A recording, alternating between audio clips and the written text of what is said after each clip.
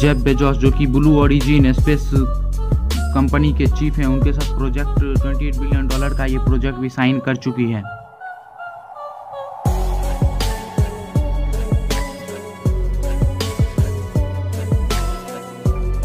Plan number first जिसका नाम, जिसे नाम दिया गया है आर्टिमिस वन जिसकी पहली उड़ान की डेडलाइन 2021 के नवंबर तक रखी गई है।